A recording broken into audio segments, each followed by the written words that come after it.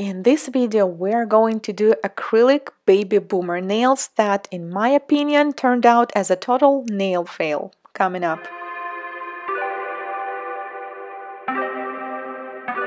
Hello guys, Anastasia here. These are the nails we need to work on. As you can see, the nails are pretty wide and also we have a dry cuticles. So the client wanted to have short coffin nails and I started with the cuticle care. By the way, those are also virgin nails, which means she's never done manicure, cuticle care extensions, like nothing in her life, and she decided to do them for her wedding. So I started pushing back the cuticle with the orange wood stick.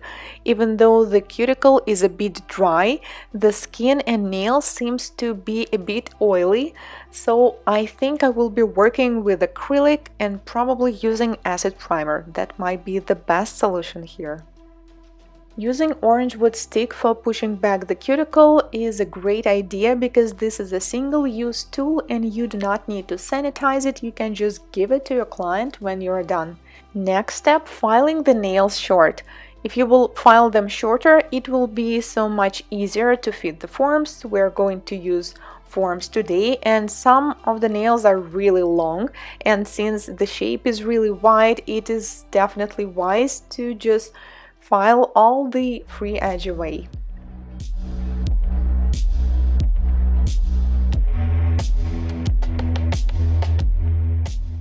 Then it is time to take care of the cuticles. I will be using diamond bit with a red band and as you can see there is something to work on. So I'm using speed of 16,000 rotations per minute and pushing up the cuticles. Even though the cuticle might look red or complicated, it was not that hard to work on it. All you have to do is to clean it thoroughly so you can push it up really well and then we're going to trim it. But since the skin itself is a bit oily, it will be easier for me to use implements rather than finish it all just with the e-file. Also, we can see some hangnails around uh, the cuticle and it is also sometimes easier to trim them with the scissors or nippers, especially if the skin is not too dry.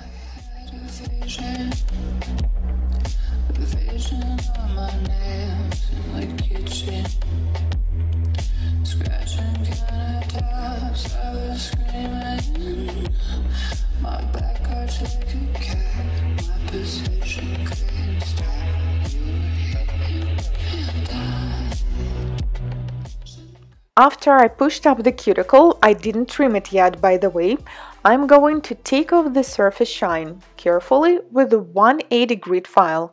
And yes, normally we do that at the beginning, but since here the cuticle was spreading at almost one third of the length of the nail, I think it would be wise to do this at this point so we can clean the nail better and also I'm not touching the cuticle because it is not trimmed yet.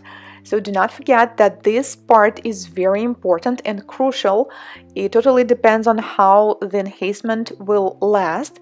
So do not overfile nails, do not press on the nail plate too much. Just make sure the entire surface is matte and you didn't leave any shiny spots or skin residue on the nail plate surface. When I'm done with the step, I'm going to clean the dust and then trim the cuticles with the scissors. You probably noticed that I'm using this tool a lot recently because I just find it pretty easy to use.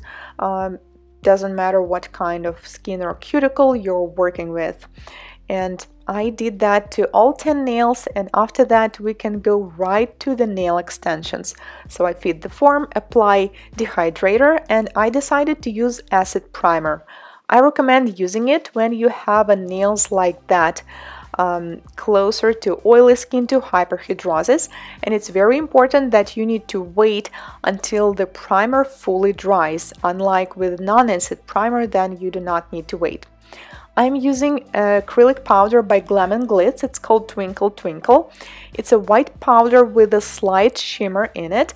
And the coolest part is that it actually glows in the dark. I already used this product before. It works great. Um, and honestly, this is probably my first time this year doing short coffin nails.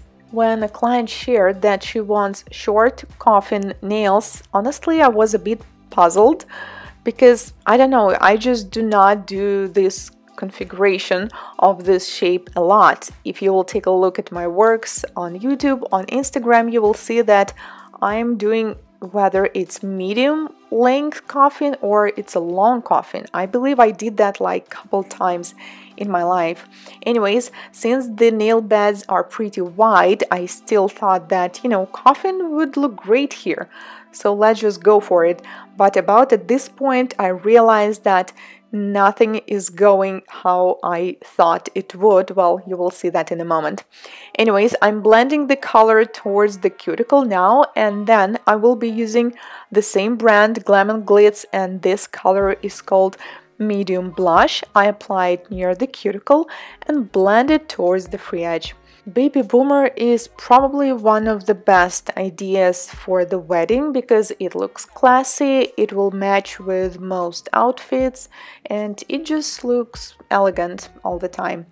So then we have two options. We can use just clear, we can use semi-transparent pink to encapsulate it all, or I also have this powder, it is called Blend uh, from Blend Collection by Glam and Glits and you can apply it on top. But I thought that you know I don't really like this fade that I created so I added a bit more nude in the middle and we need more product there to build an apex anyways.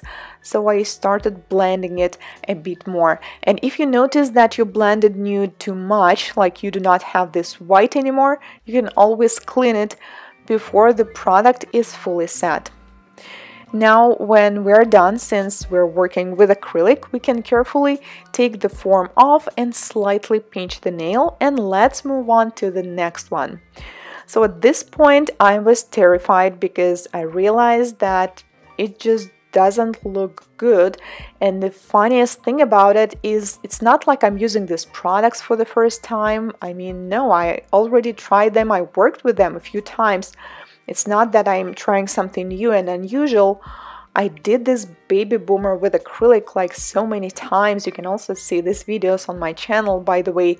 But for some reason, this one was going just wrong. I don't know, I just didn't like how it looks. This nude color seemed too transparent and like a see-through the nail this time, even though it didn't seem like that to me before well i don't know so honestly i was just you know working and hoping that maybe I will encapsulate it and it will look better. I mean, at least I will try to do my best and create a good shape. As you can see, I did them a bit longer uh, than she wanted because I thought, you know, if I would do them even shorter, it will not really be a coffin anymore. It will look more like you know another type of square. So I always start a baby boomer with this base. So I create the free edge first basically we're like sculpting a tip. And once I'm happy with the shape with the surface once it's all good then I add another bead and blend it towards the cuticle. So we can create a perfect blend. And now before it fully sets you need to apply a nude color near the cuticle and carefully fade it towards the free edge, but do not cover the entire white part because we still need it on the free edge. As I'm sitting here recording this voiceover, I did the set about two weeks before that. And you know what, guys? Now, looking at this video, I'm actually thinking that maybe it wasn't that bad. But at this point, like at this moment when I was doing these nails, I was about to cry. Seriously, I just hated this set so much. I was just thinking about what can I do to cover it up. But the good thing, I guess, is that the client was totally happy. I mean, she said she got exactly what she wanted. Um, so I didn't redo these nails, but I don't know. It's just one of those work that I'm not proud of. And honestly, it doesn't happen as often now, but this is what happens with this set. I just wanted to be honest with you guys and just share all my emotions as I was doing this set. So now the product is set as well. We take off the form and slightly pinch it. And now it's time for filing and shaping. I'm using 180 grit file. I just make sure that they're all of the same length and shape. And it is better to take care of it before you start filing right when you're doing the application. Just check them and see if the length matches as you apply the product on the form. What I didn't like in particular about the set, well, first of all, uh, the blend. For some reason, it didn't work out very well and also it seems like a bit see-through. Second thing is the shape. It just looks so weird to me. Maybe I'm just not used to this look because I don't do short coffin nails as much. And also I did a video a while ago with wide nails and I myself recommended these two shapes as a best solution for wide nails. First one is almonds and second one is coffin. And those are definitely wide nails but now looking back at it I'm thinking that probably we should have done them longer uh, or if she didn't want longer then we still could probably try another shape.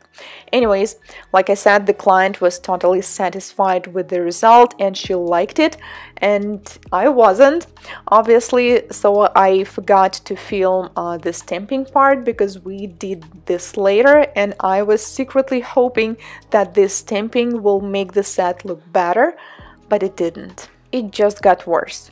So then I buffed the nails, cleaned the dust, did that stamping that I forgot to film and sealed it all with the top coat. So I already posted one video with the infill fail and you know I just wanted to be honest with you guys. I am once again totally not happy with the set but this is what I did. So we cure the top coat in LED for 30 seconds and it is what it is. Let me guys know if you did any sets that you're totally not proud of, like what exactly went wrong and why it happened. You know, I'm just curious because I definitely know that we've all been in this kind of situations. Thank you so much for watching. If you're first time here on my channel, consider subscribing because normally I post educational videos and tutorials just like this one every week and I will see you in my next one. Goodbye!